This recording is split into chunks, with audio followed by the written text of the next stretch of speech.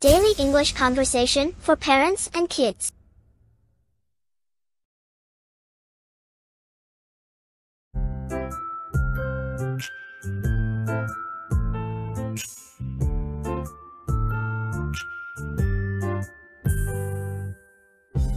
When playtime is over, you should put away your toys.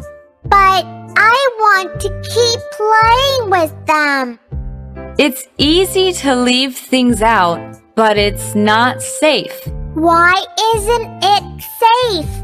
Other people could trip over your toys and get hurt. I don't want to hurt people.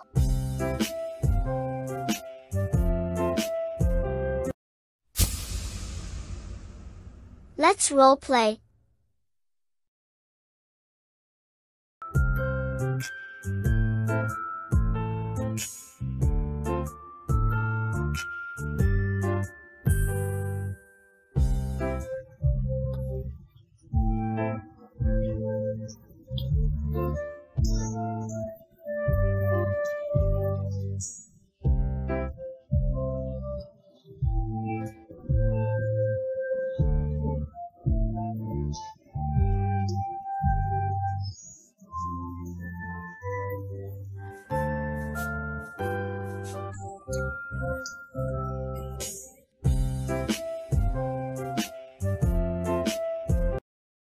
Suchu TV, Learning English.